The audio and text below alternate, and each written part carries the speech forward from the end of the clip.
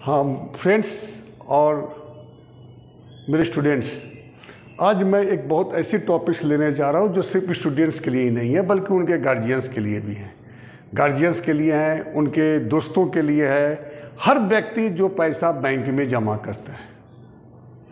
मैं वो टॉपिक्स बता रहा हूँ कि किस तरह से कितना इनकम टैक्स आपको लगता है एक साल में, जो ब्याज आपको बैंक देती है, आपके जमा पूंजी पे। यानी आप जितने पैसे जमा करते हैं, उस पर जो ब्याज देती है बैंक, उस पर कितना इनकम टैक्स आपको लगता है इस वक्त। मैं वो बता रहा हूँ, जिससे कि आपको पैसा जब भी जमा कीजिएगा, आपको बहुत ज़्यादा मदद मिलेगी।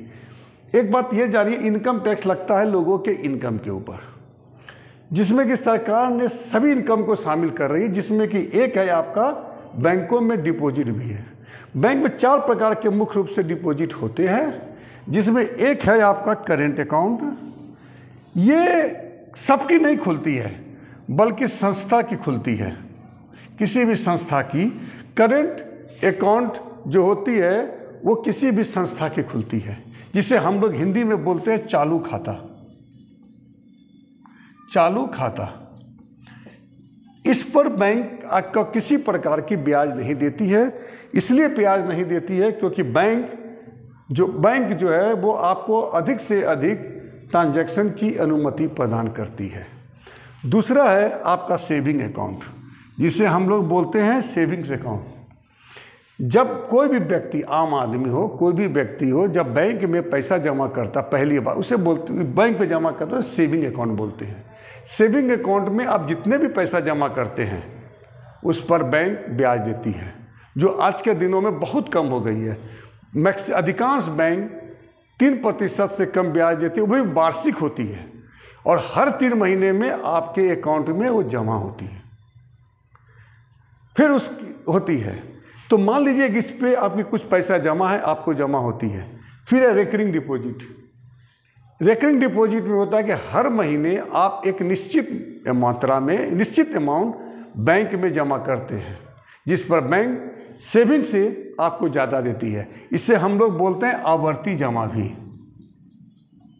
आवर्ती जमा भी बोला जाता है। फिर है फिक्स डिपॉजिट जो मियादी, इसको हम लोग बोलते हैं मियादी जमा।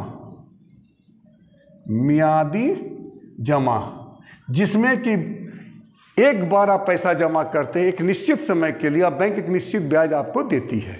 अब मान लीजिए कि आपके पास तीन अकाउंट हैं। आप तीन अकाउंट में पैसा जमा करते हैं। मान लीजिए तीन अकाउंट आपको हम बता दिए। तीन अकाउंट में आप पैसा जमा किए। सपोज़ कीजिए कि इस पर से आपको दस हज़ार ब्याज मिला एक साल में। इसमें से आपको मिला बीस हज़ार ब्याज और ये मिला आपको पंद्रह हज़ार ब्याज।